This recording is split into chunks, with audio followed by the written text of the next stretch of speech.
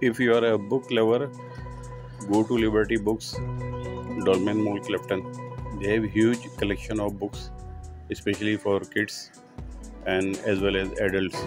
Plenty of titles are available there. Go.